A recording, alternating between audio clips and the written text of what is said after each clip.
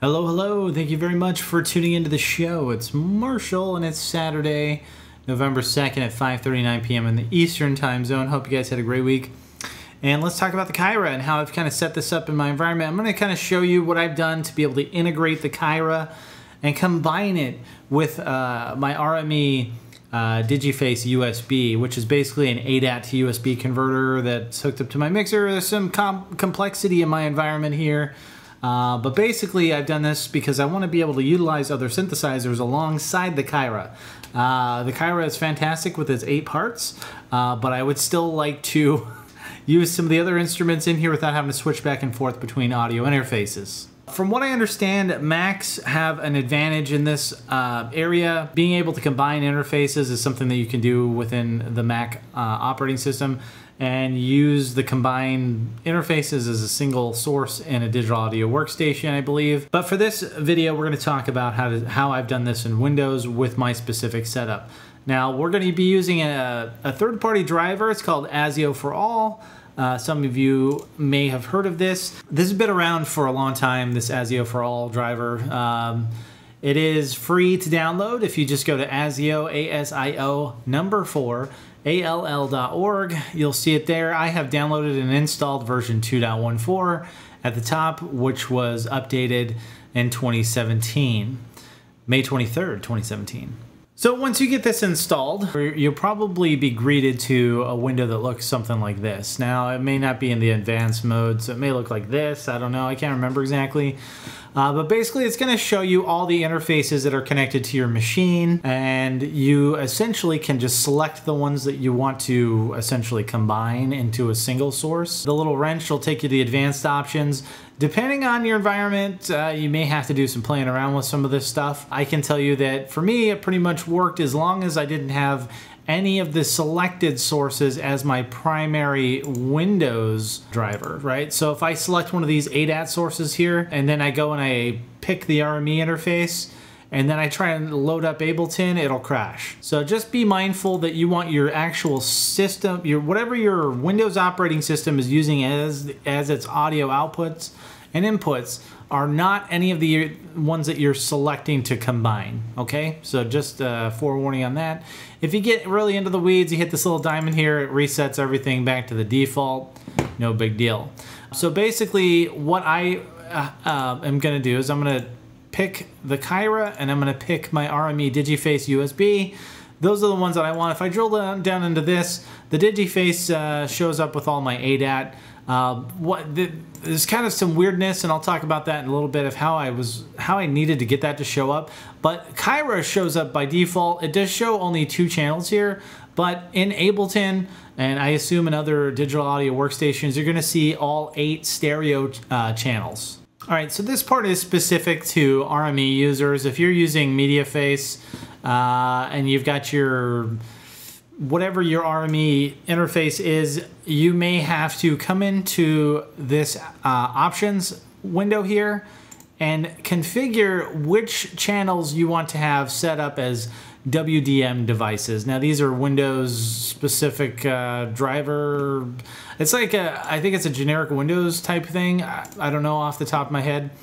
Uh, but basically for these to show up in uh, ASIO for all, they need it to be in that format. If I disable these, this does not even show up in here. So that's a little interesting that that's how that works. I don't know, maybe I'm out of date on some drivers somewhere, but in my experience for what I had to do, I just wanted to make mention of that in case you're using MADIface with an RME device.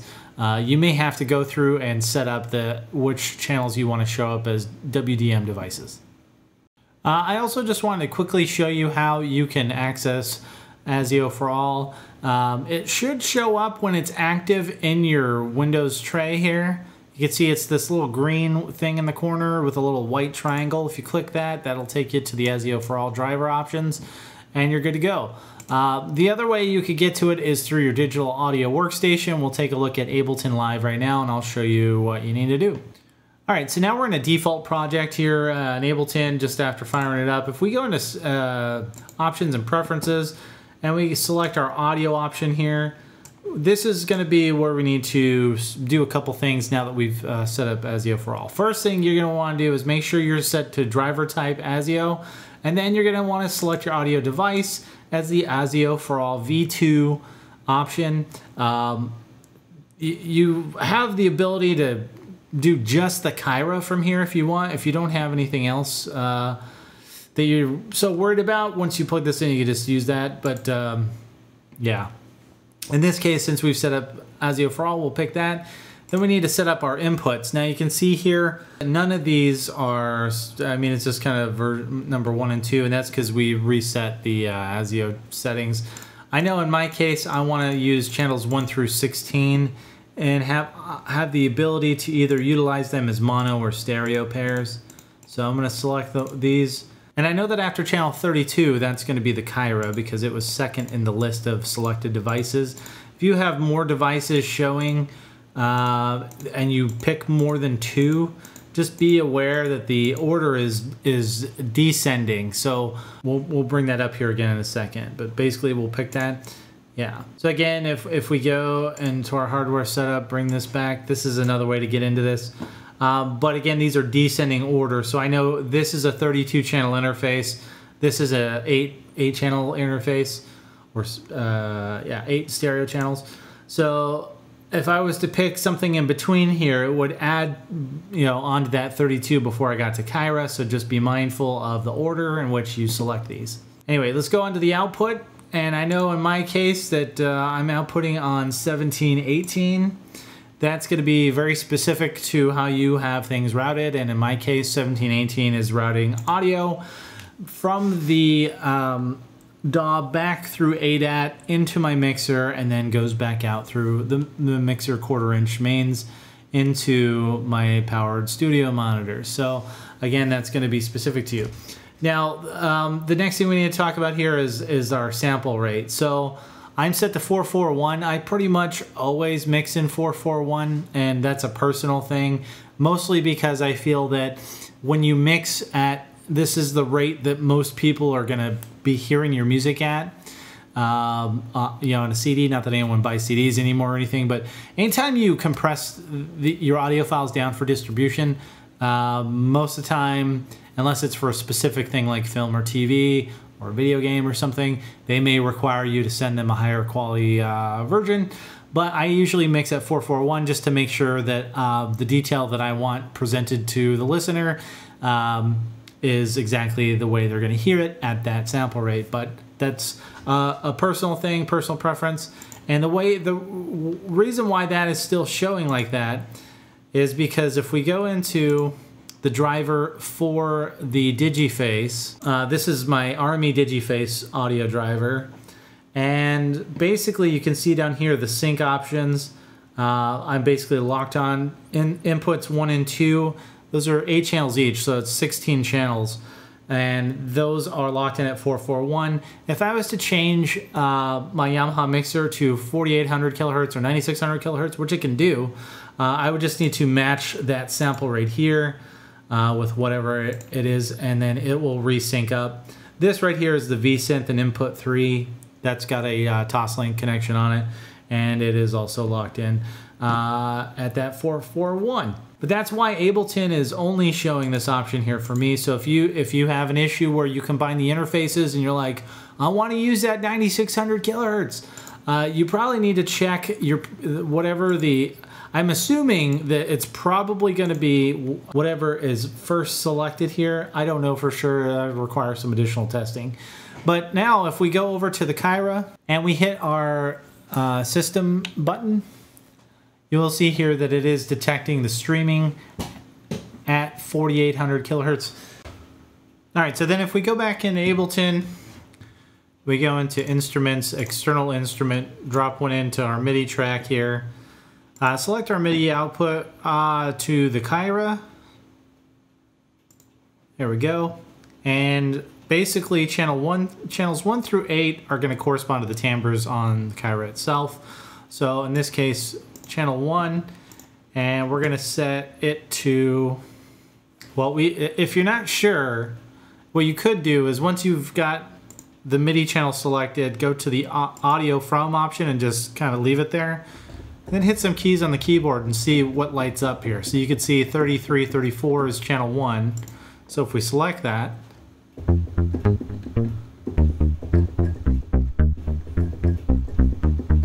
now we've got um, some bass.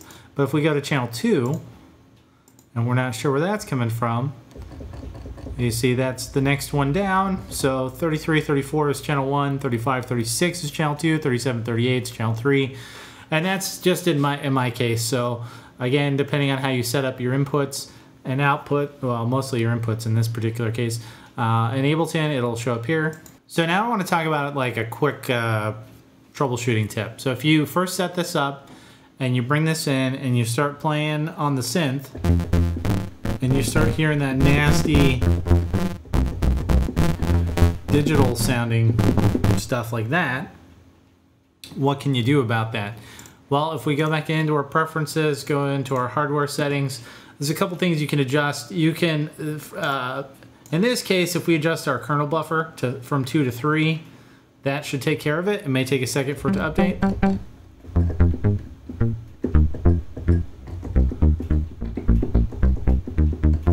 But just a note, uh, this when you get this set up, you may have to dial in some of your latency options and things like that, your buffer size.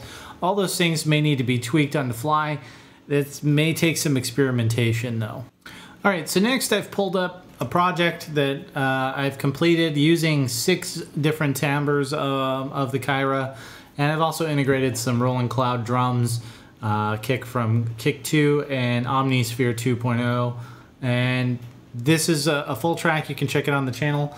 But basically, these are all set up. So like right here, I've got the Kyra bass set for channel 1, 33, 34. My uh, Hypersaw slash uh, Epic Trance style lead and uh, several other things. And actually, what I can do is just play you everything that comes from Kyra.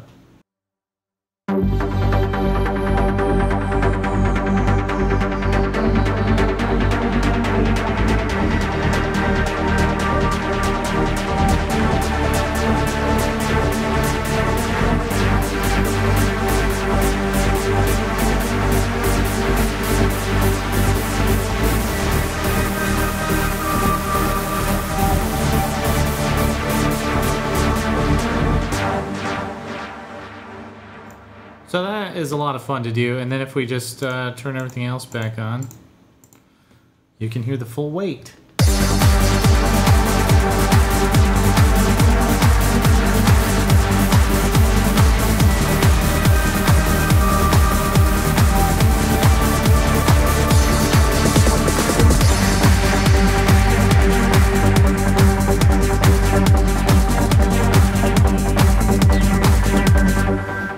You go, guys. Uh, hope that is helpful. So please leave any questions, comments, or concerns down below. Let me know what you think of the Kyra. Let me know if you think that this solution is, is cool. Maybe it's a bit of a pain in the butt to you.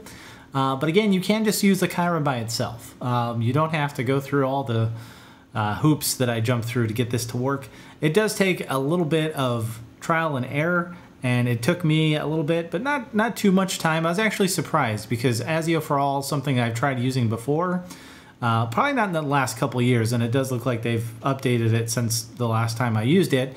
So it actually does work with this. Uh, uh, people asked about latency in this setup. The, there is latency that gets added as complexity is added to your Ableton project. That's regardless. Anytime you use any external gear, uh, with Ableton, you start stacking in plugins and plugins and stuff. You are adding more and more latency to the project. That has nothing to do with the way the ASIO driver is communicating and all this kind of stuff.